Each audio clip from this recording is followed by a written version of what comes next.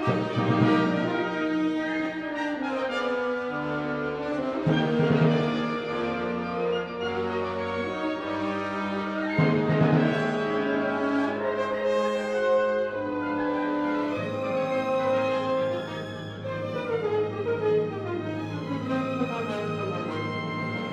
Young People's Concerts presented by the Orlando Philharmonic have been in place for over 20 years. For many of these students, this is the first time that they ever see a live orchestra.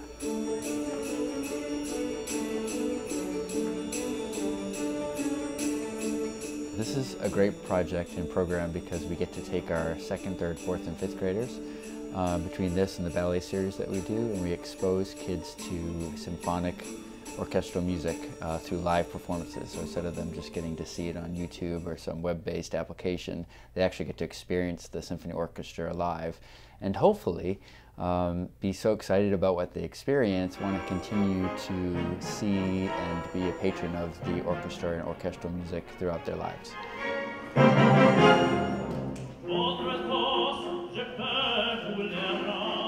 Study music in elementary school and in any grade level.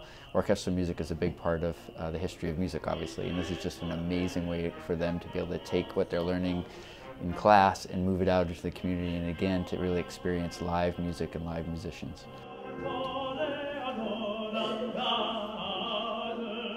For many students at this age, stories are what really tie the music to them personally. They love hearing stories, they love understanding the story, they love knowing what the music is about so that they have something to hold on to so that when students attend in grades 3 through 5, by the end they have a well-rounded musical experience.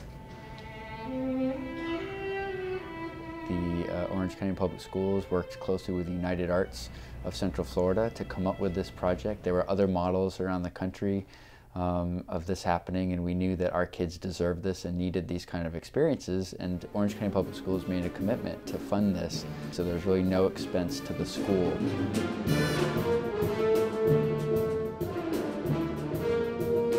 This is a labor of love for everyone on stage and the more excited the students are, the happier we are.